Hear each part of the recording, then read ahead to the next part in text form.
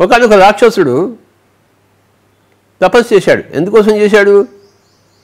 నాకు చావు ఉండకూడదు అని. వాడు నేనంటే శరీరం అనుకున్నాడు వాడు. నాకు శరీరం చావు ఉండకూడదు. నేను నేల మీద చావకూడదు. ఆకాశంతో చావకూడదు. మనిషి చేత చావబడకూడదు. జంతు చేత చావబడకూడదు. వాడు అన్ని పాజిబిలిటీస్ అన్నీ చూశాడు వాడు. రాత్రి చావకూడదు పొద్దున్న చావకూడదు. ఏ ఆయుధం చేత చావబడకూడదు ఇక మొత్తం లిస్ట్ అంతా చెప్పాడు. నాకు చావుకు రాకూడదు అని చెప్పేసి. ఈయన తపస్సు చేశాడు. కనుక పరమశివుడు సత్యాక్షించాడు భక్త ఏమి నీ కోరిక అన్నాడు. నాకు ఇలా ఇలా ఉంది స్వామి ఇలా లిస్ట్ అంతా చెప్పాడు. ఆయన ఏమి ఆలోచించలేదు. యద్భావం తద్భవతి కదా. అలాగే జరుగుగాక అని చెప్పేసి వెళ్ళిపోయాడు ఆయన.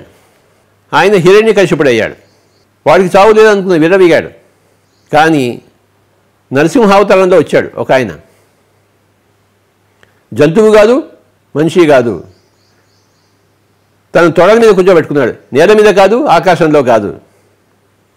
సంధ్యా సమయంలో. పొద్దున కాదు రాత్రి కాదు. తను గోళ్ళతో చీల్చి చంపాడు. ఆయుధం కాదు గోళ్ళు. శరీరంలో భాగం.